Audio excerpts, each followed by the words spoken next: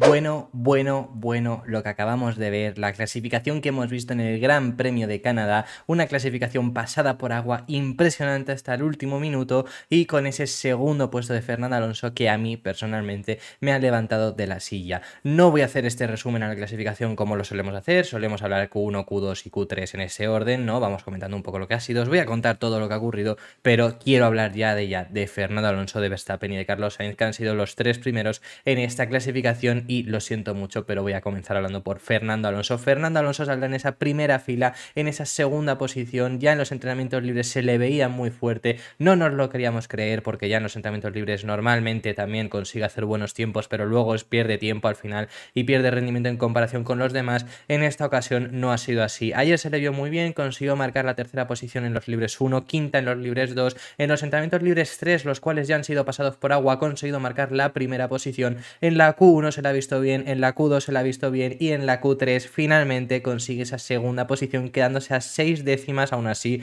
segunda posición y se queda seis décimas del primero, que eso es una locura, ahora lo vamos a hablar, pero Fernando Alonso consigue esa segunda posición, queda una décima por delante de Carlos Sainz, ha superado a su compañero de equipo en prácticamente en más de un segundo, la conseguido superar, lo ha superado en un segundo con cuatro, si no me fallan las matemáticas, puede que sea incluso más, es impresionante. Yo me he levantado y toda la silla con esto que hemos visto de Fernando Alonso en agua ya sabemos que Fernando Alonso es un pilotazo, por supuesto, y en agua lo ha vuelto a demostrar con este ritmo que ha tenido con su Alpine. Ha tenido muy buen ritmo tanto con los neumáticos de lluvia extrema como con los neumáticos de lluvia intermedios. Ha entendido a la perfección el monoplaza. Tiene también buen ritmo para los neumáticos de seco, así que mañana podríamos verle en una muy buena posición. Es la primera fila, es la primera vez que consigue eh, entrar en la primera fila, o sea, primero o segundo, desde Alemania 2012. Desde Alemania 2012 no veíamos a Fernando Alonso ni primero ni segundo. En aquella ocasión quedó en primera posición, o sea, hizo la pole y además consiguió ganar aquel Gran Premio de Alemania 2012. No lo veíamos desde hace muchísimo tiempo y Fernando Alonso está otra vez aquí.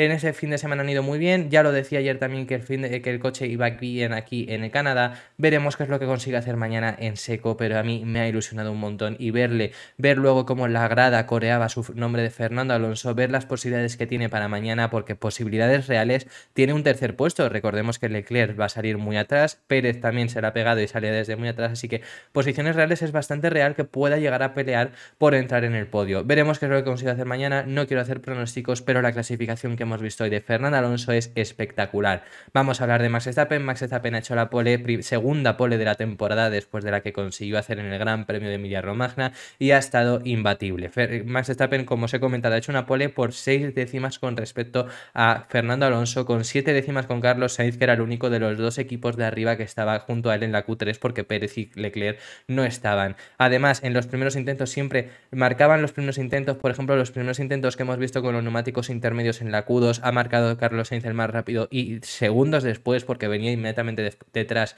de Carlos Sainz, ha marcado Verstappen el mejor tiempo, un segundo más rápido que Carlos Sainz. Ha sido increíble más Verstappen, ha estado súper veloz y se ha llevado esta pole que obviamente no había quien se la quitase. Hoy estaba clarísimo cuando se ha empezado a ver los ritmos que tenía Verstappen que se le iba a llevar él. Aún así, impresionante la consigo hacer el vigente campeón del mundo Max Verstappen y vamos a tener a dos campeones del mundo saliendo en primera y segunda posición. Esto también es algo que ocurre, que no ocurre desde hace bastante, probablemente, bueno, probablemente no, desde que lo hacían Hamilton y Vettel, desde aquellas ocasiones no veíamos a dos campeones del mundo saliendo en primera y segunda posición. En tercera posición se ha quedado Carlos Sainz, Carlos Sainz incluso lo ha dicho nada más bajarse del monoplaza, entendía muy bien el, neumático de lluvia extrema, porque con el neumático de lluvia extrema estaba bastante más cerca de Verstappen, pero los de intermedio sí que le ha faltado un poco de tiempo y aún así su vuelta estaba haciendo muy buena. el primer sector ha conseguido hacer morados, el primer sector ha sido mejor el de Carlos Sainz que el de Verstappen, por ejemplo, el segundo sí que Verstappen ha hecho el morado, ahí le ha ganado algo de tiempo, pero no era tanto tiempo como siete décimas. Donde ha estado perdiendo el tiempo Carlos Sainz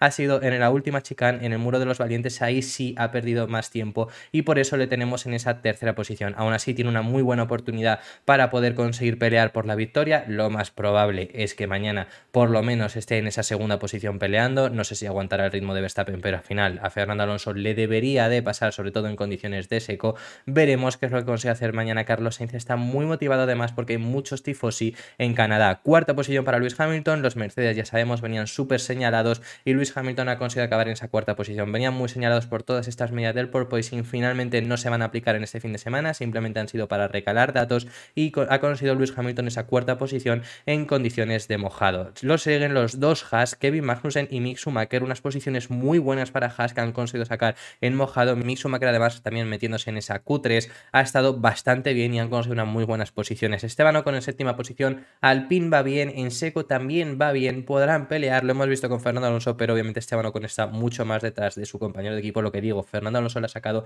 un segundo y pico a su compañero de equipo. Octava posición para George Russell ha sido una pena porque ha sido el único que se ha atrevido a poner los neumáticos de seco, obviamente no estaba la pista para los neumáticos de seco porque es que en la primera vuelta se ha, trompeado, se le ha ido el monoplaza y no puede hacer nada, pero ha sido el único que lo ha intentado, no ha tenido tanta suerte. En novena y décima posición ha quedado Daniel Ricciardo y luego ha quedado en décima posición Wang Yuzu, la primera vez que entraba en la Q3, ha vuelto a superar por segunda vez consecutiva a su compañero de equipo en clasificación y Zu que estaba exaltante por la radio se le ha visto súper contento, así que a mí también me ha alegrado bastante ver a Wang Yuzu metiéndose en esa Q3 por primera vez eh, desde que está en la Fórmula 1. Undécima posición para Valtteri Bottas, Valtteri Bottas ha quedado en esa undécima posición, ha vuelto a quedar por detrás de su compañero de equipo como comento. En decimosegunda posición Alexander Albon, ha estado bastante bien Alexander Albon pasando de la Q3 y encima pues aprovechándose de que Leclerc no o sea, pasando de la Q1, perdón, no, se ha metido en la Q3, ha superado la Q1 y pues aprovechando obviamente como digo de que Leclerc no estaba, de que eh, Pérez se le ha chocado, que ahora lo vamos a hablar, y que el Norris ha tenido problemas, pues ha quedado en esa decimosegunda posición. Decimotercera posición para Sergio Pérez. Sergio Pérez, cuando hemos hecho el cambio de los neumáticos de lluvia extrema a los neumáticos intermedios, en la curva 3 se ha ido contra el muro y luego no ha podido sacar el monoplaza. Ha intentado poner la marcha atrás, no la ha salido, ha intentado pedir los comisarios que le empujaran el monoplaza, no lo han hecho y finalmente Pérez ha tenido que acabar abandonando. Ha sido una lástima porque tenía una buena oportunidad para conseguir una buena posición, por lo menos una cuarta posición podía haber sacado. Veremos qué es lo que hace mañana Sergio Pérez. Podría llegar a ser que ya aprovechando que están tan atrás penalicen, podría llegar a ser. Veremos qué es lo que acaban haciendo o llegan a optar por salir desde esa decimotercera posición. Y Lando Norris que acaba en esa decimocuarta posición en la Q2 no ha podido rodar porque ha tenido problemas, no ha llegado a marcar tampoco tiempo. Quien tampoco ha marcado tiempo ha sido Leclerc que se ha bajado directamente del monoplaza, ni siquiera ha intentado salir en esta Q2 porque ya sabemos que Leclerc iba a tener una penalización en el motor, iba a salir desde el fondo de la parrilla, tan solo competía con Yuki Tsunoda para salir en decimonovena y vigésima posición, ha quedado por delante de Yuki Tsunoda, así que saldrá en decimonovena posición y Tsunoda en vigésima posición. Ni siquiera ha intentado, como digo, pasar ese corte de Q2 a Q3, ni siquiera porque no le hacía falta ir a jugárselo con condiciones extremas con los neumáticos mojados. En decimosexta posición, Pierre Gasly, los dos Alfa Tauri han estado bastante mal porque Yuki Tsunoda ha quedado en vigésima posición, pero aún así no tenía ritmo, tampoco se la ha jugado, que ha hecho cuatro vueltas, o sea, ha salido a rodar un poco con los neumáticos de lluvia extrema, ha visto que Leclerc obviamente iba a quedar por delante suya porque estaba intentando eso mismo, entonces directamente ha dicho pues no ruedo y se ha quedado en vigésima posición, ¿no? Pero su compañero de equipo Pierre Gasly también ha quedado en esa decimosexta posición, aún así la Q1 ha sido bastante complicada por todo el tráfico que había, pero Pierre Gasly ha caído en esa Q1. Quienes también han caído los dos que han quedado en Q1 han sido los dos Aston Martin, venían muy bien, en, en los libres 1 los dos dentro del top 10, en los libres 2 Sebastián Vettel consiguió quedar en cuarta posición, en los libres 3 en mojado, Sebastián Vettel ha hecho la tercera mejor tiempo a 50 milésimas de Fernando Alonso, a Sebastián Vettel le han cambiado el setup del monoplaza para esta clasificación y no ha encontrado el grip, no ha encontrado obviamente el agarre como estoy comentando y pues al final ha caído en esa Q, no lo ha comentado por radio que no entendía qué es lo que pasaba porque estaba súper diferente el monoplaza lo que ha sido en estos libres 3, ha sido por ese cambio de setup, así que finalmente saldrá en una posición muy atrás cuando tenía bastante buen ritmo Sebastián Vettel. Esto ha sido todo por este vídeo, dejadme en los comentarios vosotros qué opináis, qué opináis de ese segundo puesto de Fernando Alonso, qué opináis de la pole abastadora que ha hecho Max Verstappen, quién creéis que puede ganar mañana, ganará Verstappen, puede pelear Carlos Sainz, puede llegar a ser que veamos a Fernando Alonso si hay problemas de fiabilidad, pues obviamente tiene una muy buena posición para intentarlo. Como digo, esto ha sido todo por este vídeo, dejadme en los comentarios vosotros qué opináis acerca de todos los temas que hemos estado hablando y mañana nos veremos con el resumen al Gran Premio de Canadá. Un saludo.